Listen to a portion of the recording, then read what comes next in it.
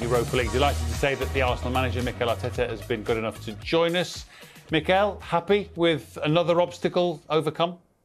Yeah, job done. Um, it's never easy to win that many games in in Europe. We've done it. I don't think it was um, the prettiest game that we've played, but uh, we managed to win the game.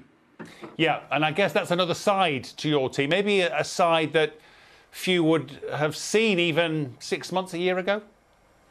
Yes, um, I think we had the chances, especially early in the game and at the end of the first half, uh, to to get the game in a much comfortable position. We didn't do that.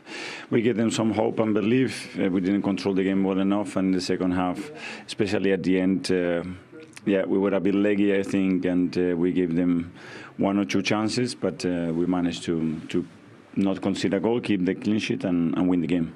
Yeah, obviously had to make changes, and that will affect the flow of the game and create perhaps a, a more open game than, than most coaches would like. Yeah, we have been rotating. I think we are the team that has rotated most in Europe till today, and uh, we have to do that. First of all, because the players deserve chances and deserve minutes, and the second because the amount of games that we play, it's impossible to to maintain the rhythm, the intensity, and players fit with this schedule. Yeah. Now, obviously, you had to think about getting the job done here and thus avoiding the two games in February. One of the guests here, Martin, was already thinking a little bit about Sunday. Were you? Are you allowed? Can you allow yourself to think about Chelsea whilst this game's happening? We have all the games and, and the fixtures in our minds to, to try to get a very competitive team all the times and win the games, which is uh, the most important thing. But um, but today was really important. Uh, we know how important it's going to be, especially when other teams are playing in February and winning helps winning. And, and, today's atmosphere in that dressing room after being first is much better uh, after a win than after a loss, and uh, and that's the focus of the team.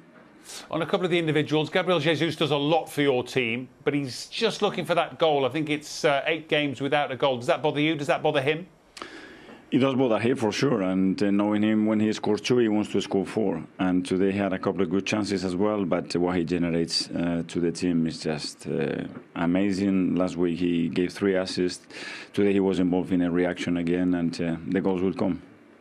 Mikel, just wanted to say congratulations. The, the run you're on is quite magnificent.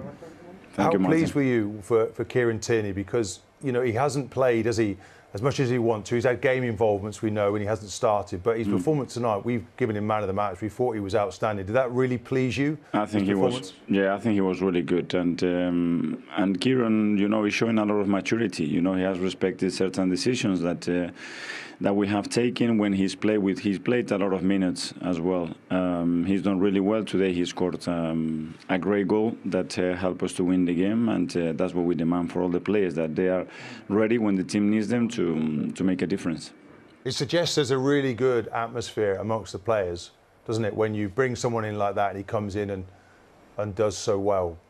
So Absolutely, well. and and everybody has to be ready because we don't have the biggest squad and uh, and everybody's important. When you see the amount of minutes that they all played, um, it's a lot. So they have been really important. They have been important in the Europa League. They have been important in the league, and they will continue to be so. So um, we need everybody involved and, and active because at, at any moment you are needed and, and you have to contribute to the team. And with that in mind, Taki uh, Tomiyasu obviously came on then had to go off. Do you mm. able to update us? It doesn't look great.